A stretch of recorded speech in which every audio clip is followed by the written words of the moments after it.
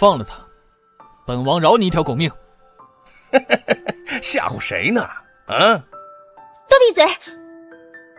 我问你正事，你是不是故意欺骗我，把我和陈公子凑到一起？是又怎么样？